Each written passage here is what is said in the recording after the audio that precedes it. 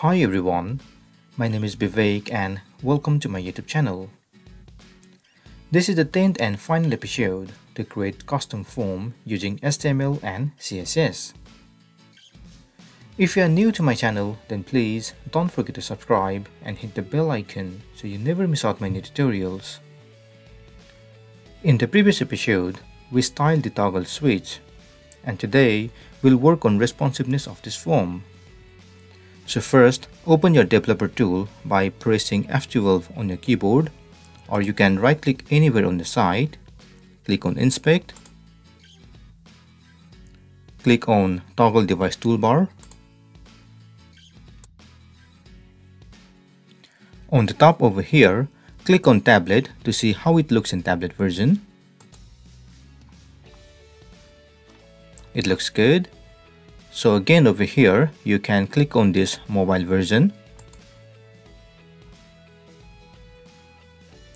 And here, we have to fix this custom radio button and custom checkbox. Also, it would be good if we reduce this font size of this button, this custom select box, and other font size.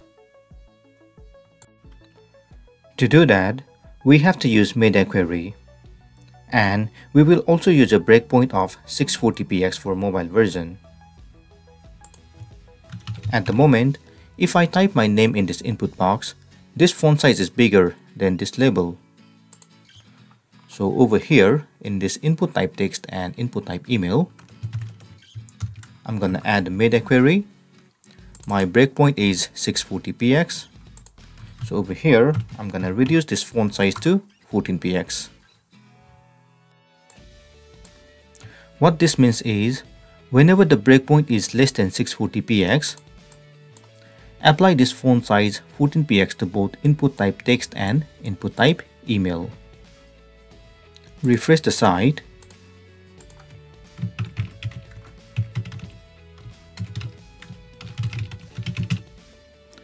And the font size for both name and email box has been reduced to 14px. Now, Let's reduce the font size and height of this button.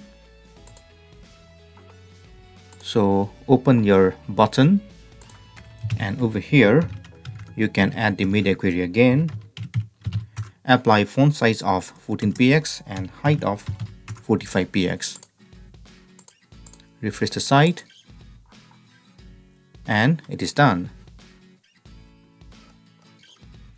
Now reduce the font size of this select box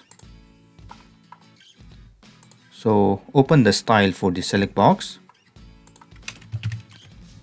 Apply the media query and apply the font size of 14px. Refresh the site and it is done. Now let's try to fix this radio button and in order to fix this radio button all we have to do is we have to reduce this padding.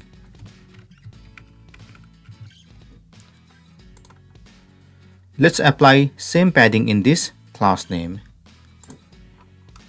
So open your radio button tree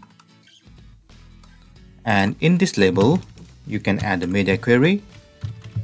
You can add a padding of 8px for top and bottom, 10px for left and right. Refresh the site and it is now working.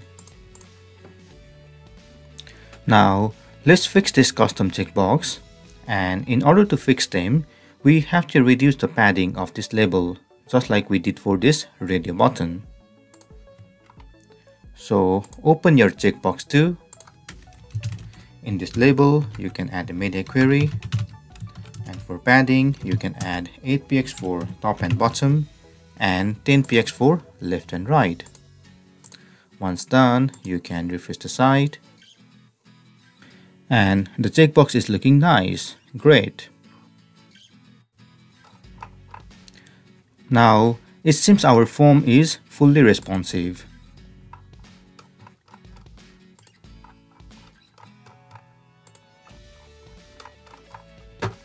Great. This is the end of this final session. Feel free to comment below if you have any question.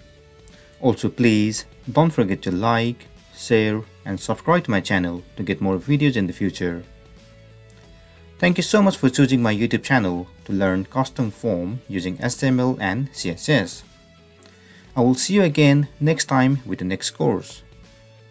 If you want some hosting companies, you can check the link in the description below. Thank you and see you soon.